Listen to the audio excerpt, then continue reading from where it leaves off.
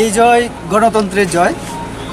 আর এই জয় আমি আমার এই পূর্ব ত্রিপুরা লোকসভা আসনের সমস্ত জনগণকে আমি উৎসর্গ করতে চাই। যারা আমার জন্য কাজ করেছেন, আমি বিশেষ করে ধন্যবাদ জানাতে চাই আমার দলের নেতৃত্ব।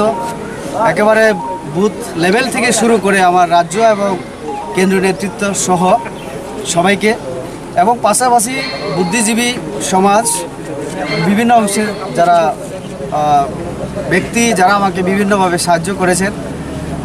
এই জয়, গণতন্ত্রের জয়, এই জন্য আমি বলতে চাই যে দেখুন, একটা সময় একটা অপপ্রচার করার চেষ্টা করেছিল যে বিজেপি পূর্ব ত্রিপুরা লোকসভা আসনে তিন নম্বরে থাকবে। অনেক বলার চেষ্টা করেছিল যে পূর্বে কংগ্রেস নাকি জয়লাভ করছে। আসলে আমরা বারবার বলেছি, কংগ্রেসের অন্যান্য দলের সাংগঠনিক কাঠামো নেই।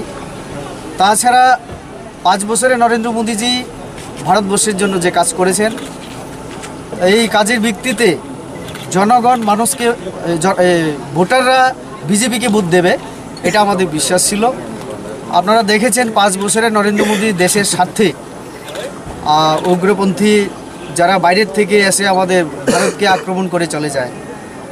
এই যে দেশের সুরক্ষার স্বার্থে আমাদের প্রধানমন্ত্রীজি যে কাজ করেছেন এবং সাধারণ মানুষ, কৃষক থেকে শুরু করে একেবারে পিছিয়ে পড়া মানুষের জন্য, গরিব মানুষের জন্য সেই গড় আবাস যোজনা, প্রধানমন্ত্রী আবাস যোজনা থেকে শুরু করে, বিনামূল্যে গ্যাস থেকে শুরু করে, কৃষকদের জন্য কিষাণ সম্মান নিধি থেকে শুরু করে যে প্রকল্পগুলি সাধারণ মানুষ, গরিব বংশের মানুষের জন্য সেই কাজের ভিত্তিতে আমরা আশাবাদী ছিলাম এবং আমরা বিশ্বাস, আমরা ব্যক্ত করেছিলাম যে আমাদের বিপুল ভোটে জয়যুক্ত হবে। আমরা যেভাবে বলেছিলাম, স্লোগান তুলেছিলাম যে আপকি বার তিনশো পার। আপনারা দেখেছেন ইতিমধ্যে আমরা এককভাবে বিজেপি প্রায় তিনশোর কাছাকাছি। দুইশো আটানব্বই, প্রায় নিরানব্বই, এরকম হচ্ছে। আশা রাখছি যে তিনশো, তিনশোর কাছাকাছি থাকবে।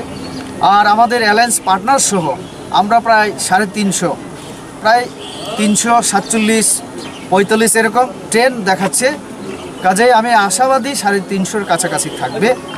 তার পেছনে একটা অন্যতম কারণ হতে পারে, আমরা বিধানসভা নির্বাচনের সময় আইপিএফটি এবং বিজেপি মিলে আমরা লড়াই করেছিলাম।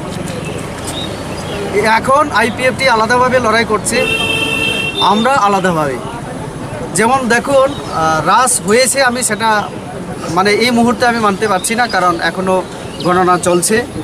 আমি আমার রাইবা মিলি যেখান থেকে আমি আমার মানে জন্মস্থান, আমার বাড়ি, সেখানে আমি চার হাজার সাতশো চৌত্রিশটা বুথে আমি লিড করেছি।